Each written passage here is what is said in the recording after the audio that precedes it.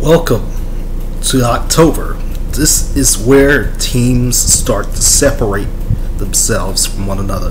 This is where college football begins to get even crazier and crazier. And after last week, you know, things were a little bit crazy, you know, a little just a little bit, not not too much, but very much so a crazy time in which we can all enjoy and laugh and get anguished over.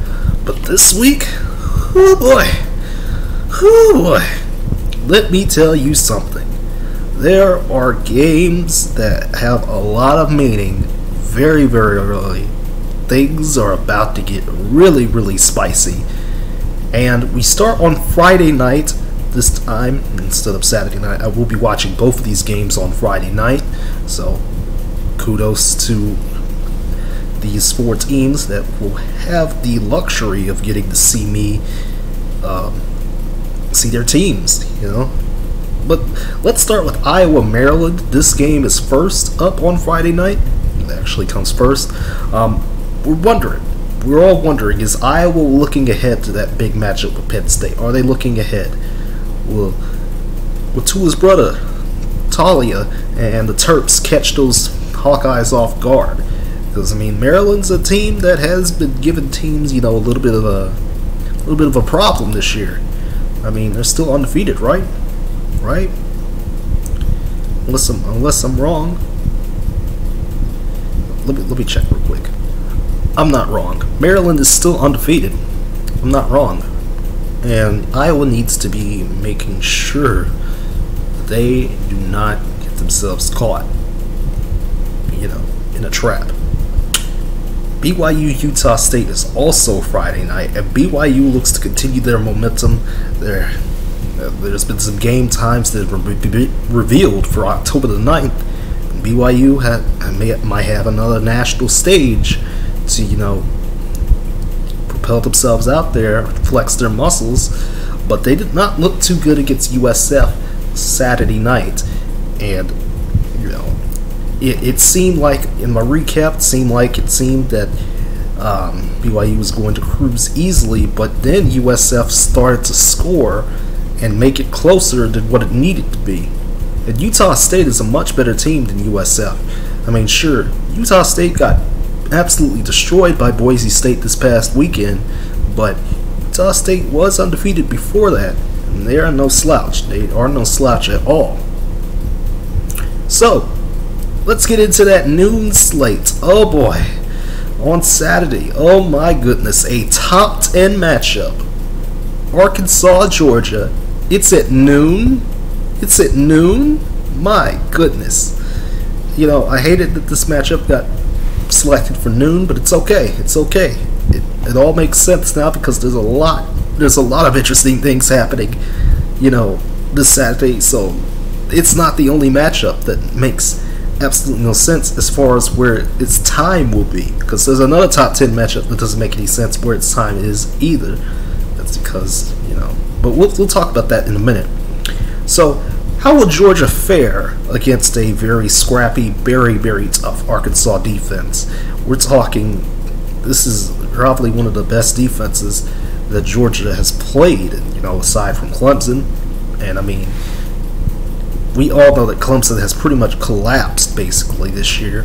So was that really something? Was that really Georgia? You know, just you know, pouring on the defensive onslaught, or was it really you know Georgia's offense? You know, was it was it really you know that bad against an actual team that makes you know that makes them flinch a little bit because you know Georgia's been firing on all cylinders the past few weeks, but it hasn't been against the best competition in the world.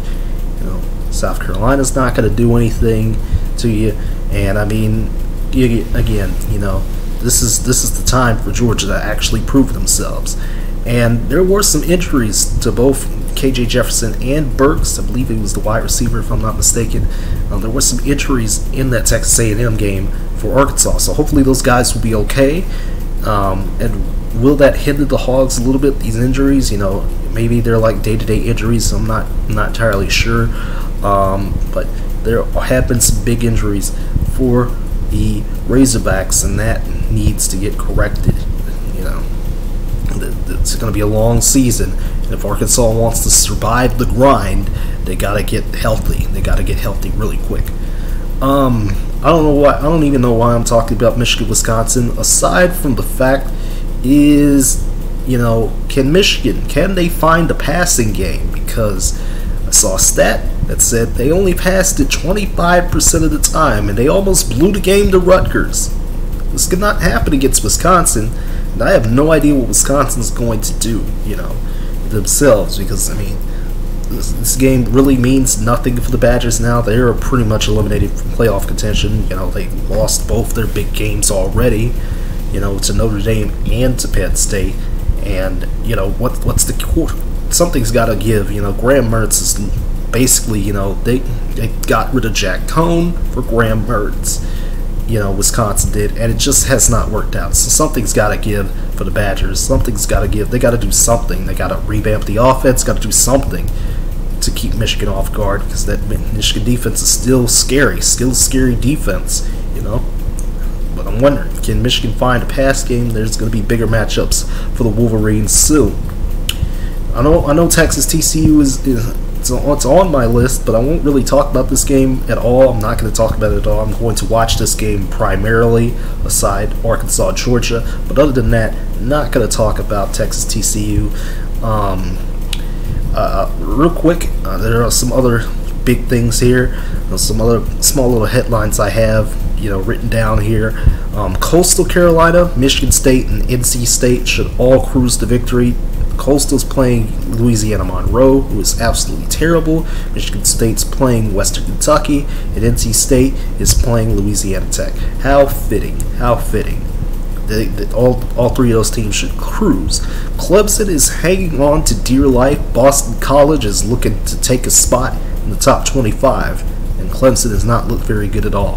And hopefully, Wake Forest does not underestimate the Louisville Cardinal. I mean, I know Louisville, you know, did not look good in the opener against Ole Miss, but they racked off some good wins. You know, they racked off a big one against UCF uh, earlier this year and Wake Forest cannot get caught lacking. And as far as some other teams go in the top 25 that I don't have on here for their matchups, UCLA, Ohio State, Auburn, Texas A&M, and Fresno State, all these teams have big tests. Fresno State's taking on Hawaii. Hawaii is always difficult. Texas A&M's taking on Mississippi State.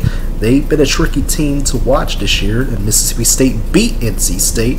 Remember, Auburn is taking on LSU. LSU been looking to get back into the top 25 themselves. They've got LSU's been racking off a couple big victories themselves. And Ohio State's facing Rutgers.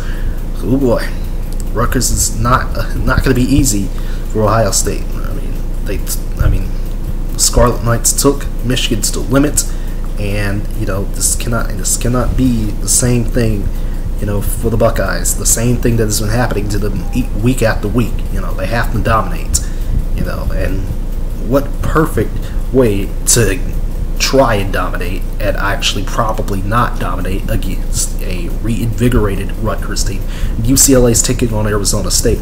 Arizona State, you know, they got they got beat up by BYU pretty bad. Well, not really particularly too bad, but UCLA cannot afford to take another loss. You know, they already got a they already got a loss to um, to Fresno State, and they can't afford another one. You know, UCLA needs to keep it up in Pac-12 play. So going back up here, and we'll talk about these games that are in between, because there's a couple of games that are in between, and I am going to be watching um, in between, you know, the regular time slots, which are weird. And one of these games that is going to be weird is a top 10 matchup between Cincinnati and Notre Dame both these teams, essentially, both their playoff spots are on the line. Both of these teams are fighting for a playoff spot. This is the game for Cincinnati. This is it. You lose this game, the Bearcats are done. You can write them off, put them in the history books next to a bunch of other Group of Five teams that had high expectations and didn't get to the playoff. And Notre Dame same boat here. They've looked atrocious at times all season. You know, their defense got it together, But at the same time, it feels like the offense, I don't know what this offense is, it feels like it needs to run with Kyren Williams. I've been saying that, you know, for the longest time, and it feels like Notre Dame is doing that. But at the same time, the quarterback situation has been a little bit wonky because Jack Coan, you know, he, he did not play well against Wisconsin. He's had some times where he has not played well at all. I mean, look at the Toledo game. And now they and now they got Pyne up in there, you know, and I'm not sure if Jack Coan's still injured or not, but you know, if Pyne goes in there and things, you know, seem to be running smoothly, then we got a quarterback problem at Notre Dame. Cincinnati has a defense that is tenacious. I mean, look at what they did to Indiana, you know, a couple weeks back. Look at what they did to them. Four turnovers a couple weeks back. And, you know, that, that I, I, mean, I don't know. I don't know. This is going to be one hell of a game, though. Going to be one hell of a game. My goodness. Um, for Oregon, as we can move to the actual 3:30 games, you know, the 3:30, 2:30 games, for Oregon, they cannot overlook Stanford. Stanford, they played UCLA tough, but Oregon, you know, they got to get off to a better start than what they did against Arizona. They looked sluggish for most of that game until very late when the defense decided to finally wake up. You know, CJ Verdell's had some good plays at times, but again, you know, Oregon's got to wake up. They got to wake up, and they and they got to wake up now.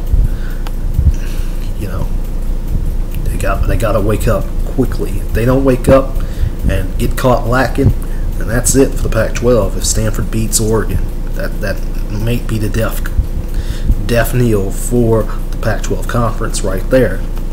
We're, we're still we're still only in October. We're about to start October, and Pac-12 gets eliminated from playoff contention in Week Five. You know that that's par for the course at this point. you know, just a conference of conference of cannibals, conference of cannibals, not conference of champions, conference of cannibals at this point. All right, okay. Now that I'm back, Miss, Alabama is another tough matchup for Bama's defense. And, you know, Ole Miss's defense started to resurge a little bit with Matt Corral leading the offense, especially. You know, that fast offense is putting up huge numbers. Matt Corral is looking to, you know, get his Heisman moment. We all know some Heisman moments have come against Bama. I mean, look at Johnny Football. Could this be? Could this be Ole Miss's big moment? we're wondering because I mean Bama's Bama's still tough. You know, Bama's a tough team and all that. Um, they they haven't looked as scary as they once were.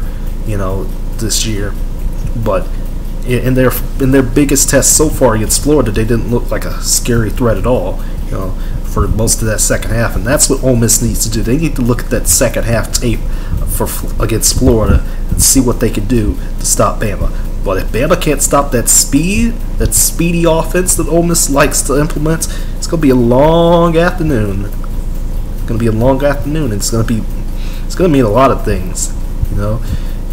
Because Bama has not looked like the number one team. In all honesty, there really isn't. There really hasn't been a team that has especially shown out or anything like that. It has gone completely crazy out there on the field and off the field either.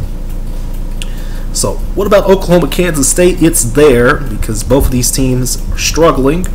Kansas State did lose last week, but this is a game where Kansas State has had Oklahoma's number. Because remember last year, Kansas State lost to Oklahoma, or rather, Kansas State beat Oklahoma. Not, not, not. No, no, no, no. no. Kansas State beat Oklahoma. My bad. And you know, Oklahoma only scored 16 points against West Virginia lowest point total in a while. And we're still wondering what, what in the world's going to happen with the Sooner team because guess who's awaiting them?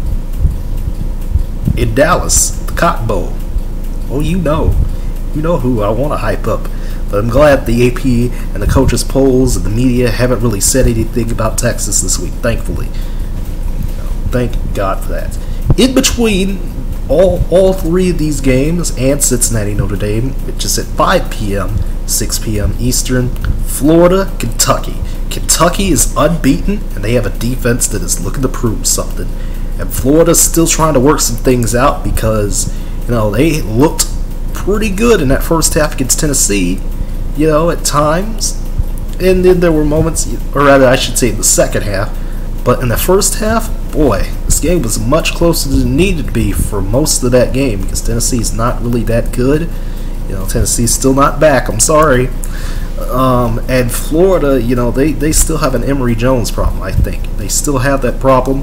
And I'm still thinking, you know, who, when are they going to put Anthony Richardson in? When are they going to, you know, when are they going to do that? When are they going to get this offense, you know, moving in a spectacular fashion? This, you know, this this power run stuff that, that Dan Mullen likes to incorporate just isn't going to work in the long run. It didn't work against Alabama at the end, and it didn't work, you know, it, it didn't work when it needed to, you know, at times. You know, they need to get they need to get a spark. They need to get something downfield. They need to get these wide receivers involved. They need to get a passing game going. Kentucky might be the team to do that against. So what about Oklahoma State Baylor? Both these teams are undefeated. Both these teams need to step it up. You know, I'm still concerned a little bit about Oklahoma State's offense. Their defense was excellent last week, by the way a little bit concerned about that offense still. Baylor is an unknown. You know, I did not see Baylor beat Ohio. St- I mean, not wow, Iowa State. I did not see Baylor beat Iowa State except for the last play at the end of the game. But this will be my first time seeing these Bears, and guess who's calling the game? RG3 is calling the game. My goodness, this is going to be fun. A top 20 matchup. Mm, it's going to be real spicy. Going to be a really spicy matchup. And for some reason, Indiana Penn State is the Saturday night football game. I don't know why, but I mean, the only real reason this is is because this is a revenge game for Penn State. Remember, Penix beat Penn State on a last second play last year that we still kind of debate about to this day. And that, that's really all this game has going for it because Indiana is what two and two right now, or one and two, or whatever. Not a good. Indiana's not good this year. Sorry, it's okay. But alas, we made it to Big Sky After Dark. I did say there was going to be an FCS matchup down the line that I was going to talk about. I didn't know it was going to be this one. So this is a top ten. This is this is a top five matchup. Top top five or top ten matchup. I believe it's top five. Let me check real quick.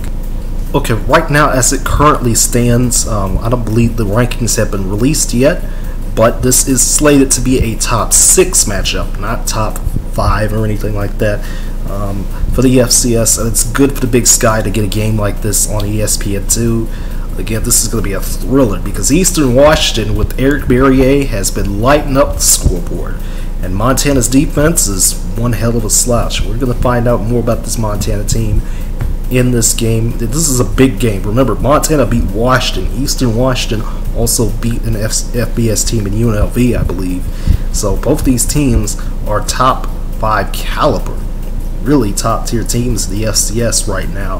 And the FCS, of course, you know, is constantly changing their landscape as well. They this stuff continuing to go on, you know, under our noses, under a lot of people's noses, and you know, there's been what 10 or 11 FCS over FBS wins this year, which is crazy, a crazy amount. That doesn't really happen that often, you know. So, again, this is going to be one hell of a matchup. It's way better than watching Pac-12 After Dark because Pac-12 After Dark has been underwhelming. Now, UCLA, Arizona State, I will try. It'll be either that game or the Fresno State Hawaii game that I'll watch, you know, in this late window after most of these games in the uh, 7 6 Central window wrap up. But this one, this Montana Eastern Washington matchup right here, it's going to be a doozy. We have top 10 matchups, top 20 matchups, top 5 matchups all day long on Saturday. Can can I get an amen in the chat? Amen in the comment section, I mean. I've been messing up today, but that's okay. I will see you all on Saturday night, Sunday morning. You know, for for your recap of this week, because this is going to be one hell of a week. Let's do this, guys. Let's digest the gloriousness of college football. Take care.